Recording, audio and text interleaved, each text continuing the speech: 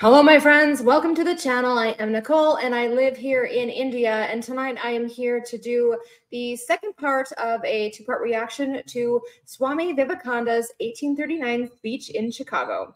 This was a long, long time ago, obviously. You guys know that. And I had remarked on my first video that was really amazing that. I mean, the quality of this audio is fabulous. It's really like I could be listening to him speaking just yesterday. So um, we have left off um, half, almost halfway through the uh, the audio um, or the recording, and we're going to go ahead and start from just a few seconds before we left off um, in the the first part. So let's go ahead and continue.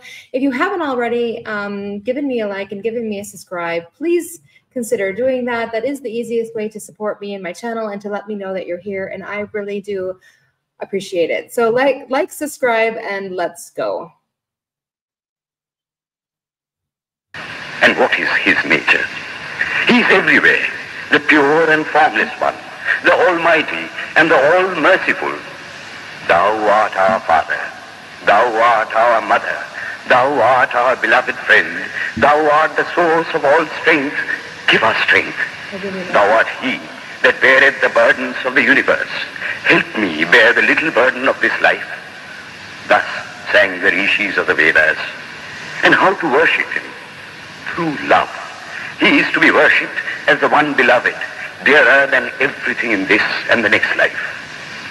This is the doctrine of love declared in the Vedas. And let us see how it is fully developed and taught by Krishna, whom the Hindus believe to have been God incarnate on earth. He taught that a man ought to live in this world like a lotus leaf, which grows in water but is never moistened by water.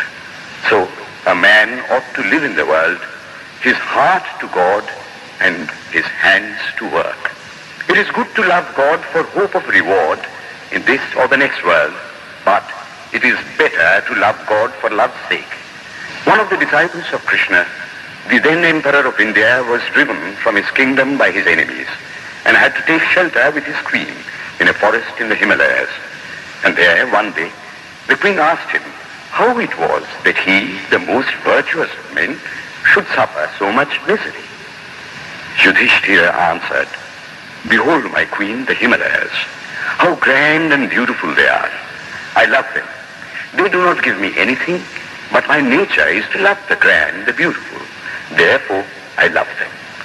Similarly, I love the Lord. He is the source of all beauty, of all sublimity. He is the only object to be loved. The Hindu does not want to live upon words and theories.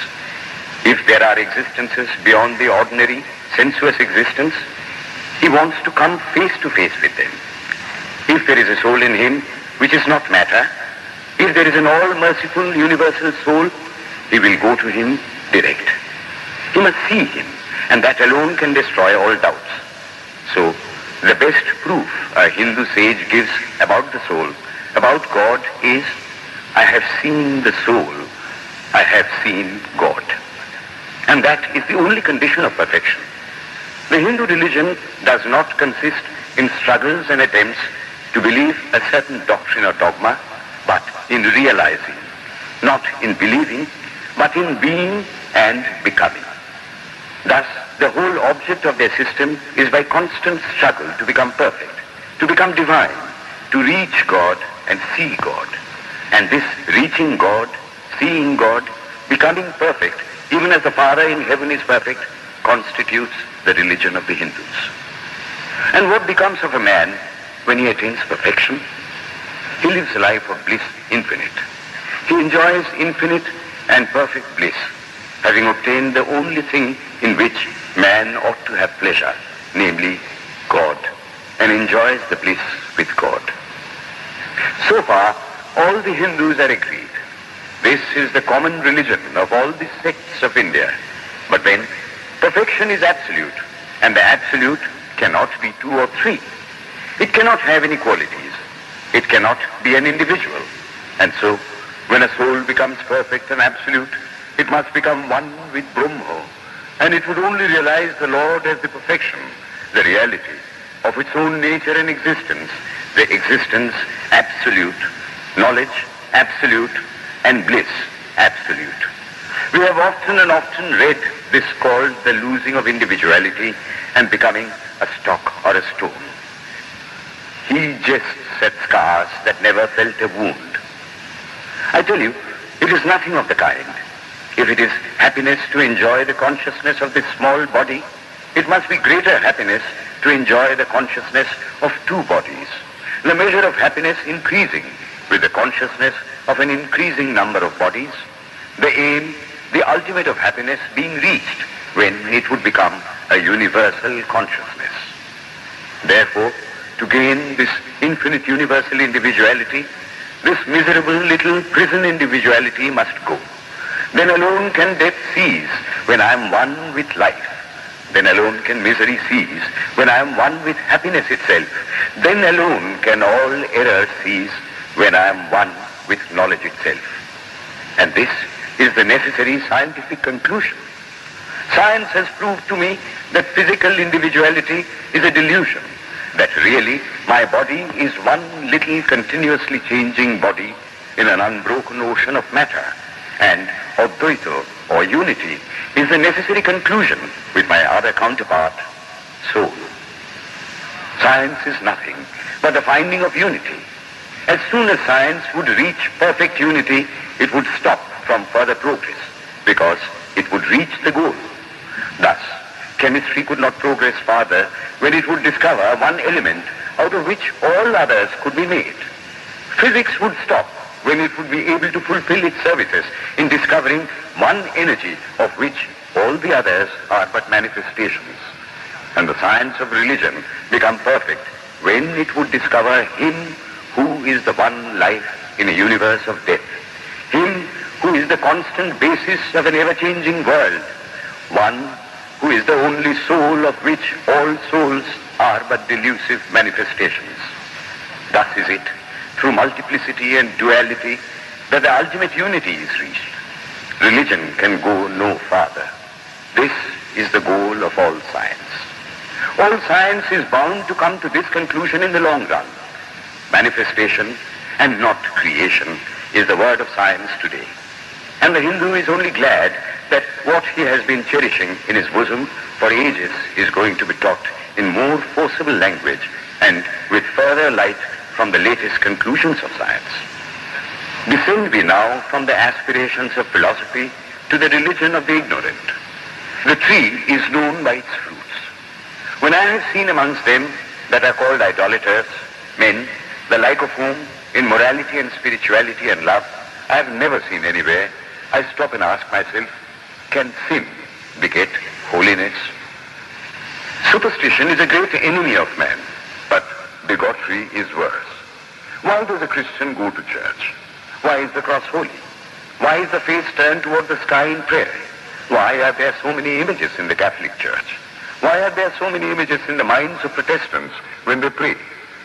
My brethren, we can no more think about anything without a mental image than we can live without breathing. By the law of association, the material image calls up the mental idea and vice versa. This is why the Hindu uses an external symbol when he worships. He will tell you it helps to keep his mind fixed on the being to whom he prays. After all, how much does omnipresence mean to almost the whole world? It stands merely as a word, a symbol. Has God superficial area? If not, when we repeat that word omnipresent, we think of the extended sky or of space. That is all. If a man can realize his divine nature with the help of an image, would it be right to call that a sin? Nor, even when he has passed that stage, should he call it an error. To the Hindu, man is not traveling from error to truth, but from truth to truth, from lower to higher truth. To him, all the religions, from the lowest fetishism to the highest absolutism, means so many attempts of the human soul to grasp and realize the infinite, each determined by the conditions of its birth and association, and each of these marks a stage of progress. And every soul is a young eagle soaring higher and higher, gathering more and more strength till it reaches the glorious sun. Every other religion lays down certain fixed dogmas and tries to force society to adopt them. It places before society only one coat which must fit Jack and John and Henry all alike. If it does not fit John or Henry, he must go without a coat to cover his body. The Hindus have discovered that the absolute can only be realized or thought of or stated through the relative. And the images, crosses and crescents are simply so many symbols, so many pegs to hang spiritual ideas on. It is not that this help is necessary for everyone, but those that do not need it have no right to say that it is wrong, nor is it compulsory in Hinduism. One thing I must tell you, idolatry in India does not mean anything horrible. It is not the mother of harlots. On the other hand, it is the attempt of undeveloped minds to grasp high spiritual truths. The Hindus have their faults. They sometimes have their exceptions. But mark this, they are always for punishing their own bodies and never for cutting the throats of their neighbors.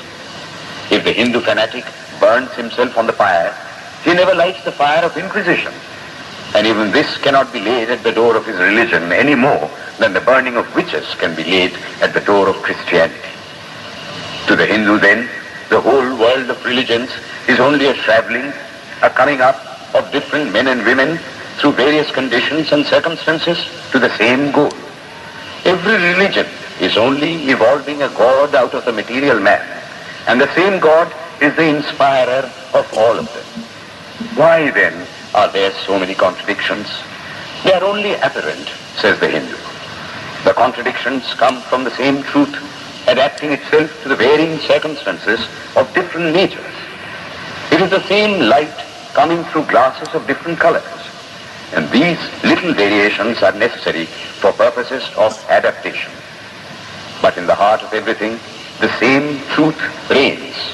The Lord has declared to the Hindu in his incarnation as Krishna, I am in every religion as a thread through a string of pearls. Wherever thou seest extraordinary holiness and extraordinary power raising and purifying humanity, know thou that I am there. And what has been the result? I challenge the world to find throughout the whole system of Sanskrit philosophy any such expression as that the Hindu alone will be saved and not others. Says Vyasa, we find perfect men even beyond the pale of our caste and creed. One thing more, how then can the Hindu, whose whole fabric of thought centers in God, believe in Buddhism, which is agnostic, or in Jainism, which is atheistic? Buddhists or the Jains do not depend upon God, but the whole force of their religion is directed to the great central truth in every religion, to evolve a God out of man. They have not seen the Father, but they have seen the Son. And he that hath seen the Son hath seen the Father also. This, brethren, is a short sketch of the religious ideas of the Hindus.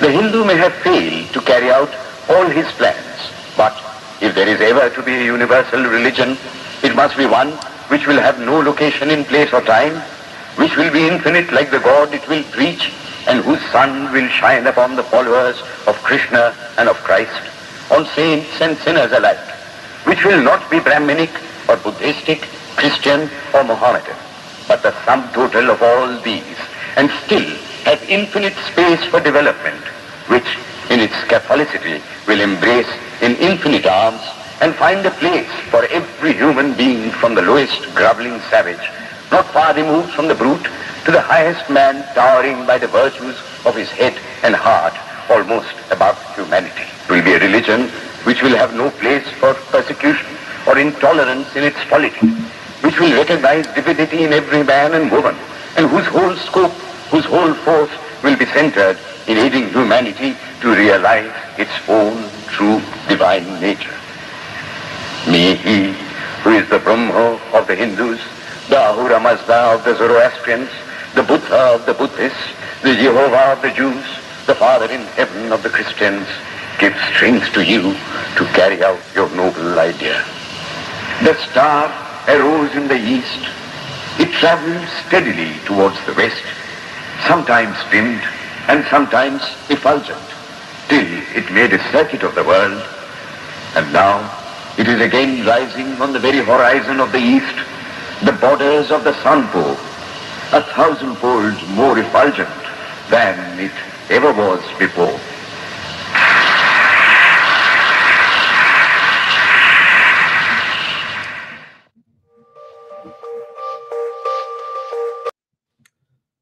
That's it. Um, so we finished it, and wow, I am a little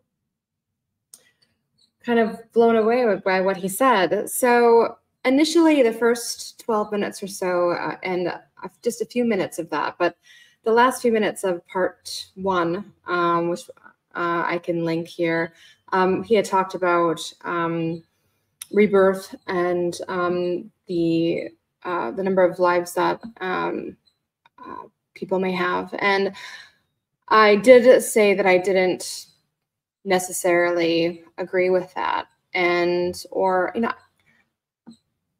it's all about what we are, what we're growing up with, right? And how, what we learn. And I, I, I can't say that it's not true or that it's not what happens, but that's not in, I think, in my heart and what I believe. But what what I heard now was, I mean, it, it was interesting about how I felt. It sounded so, it sounded very Christian. Um, I mean, it, don't get me wrong, it sounds Hindu as well. That's the interesting part is that so many of these, you know, these religions, they have um, very common origins. And I know that even Jesus in in India is considered to be, you know, a holy man. So, you know, I have said for many years that my belief um, is that I, I, and I do, I believe that there are many paths to God, whether it's Christianity or Hinduism or Buddhism or Jainism, uh, Islam, whatever is your path to God, you're on a path to God, and that's amazing and beautiful and should be respected. And so but what he you know you know what he was saying about you know the father and the son and um, these different things and he was speaking about the incarnation of krishna but he could have been speaking about the father and you know and jesus as the incarnation in, in christianity. So i found it to be very very interesting and in how you know it could have been a priest seeing those things when you know it, it obviously wasn't. It just is uh it's it's interesting how many things they have they all have in common so this was such an interesting uh, watch or listen and i really do appreciate uh, the uh, recommendation it was um, wow it was really great I, i'm hoping that i can find some more things to to listen um, from uh, Swami Vivekananda. So if you like the reaction, please give a like, please give a subscribe. And as always, I love you and bye-bye.